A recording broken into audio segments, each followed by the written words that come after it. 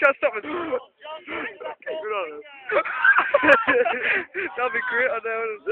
That'd be rather cool. like, what? That'd be a thing.